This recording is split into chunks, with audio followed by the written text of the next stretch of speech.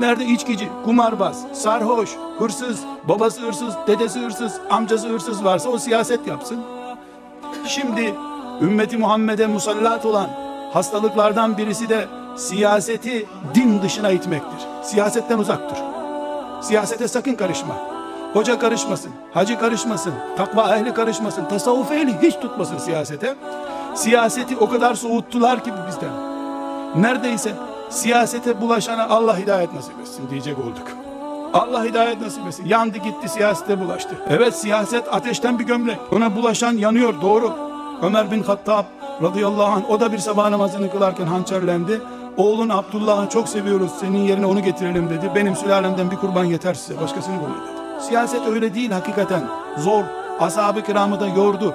Ama İslam'da siyaset yok cümlesi Hristiyanlıktan intikal etmiş batıl bir cümledir.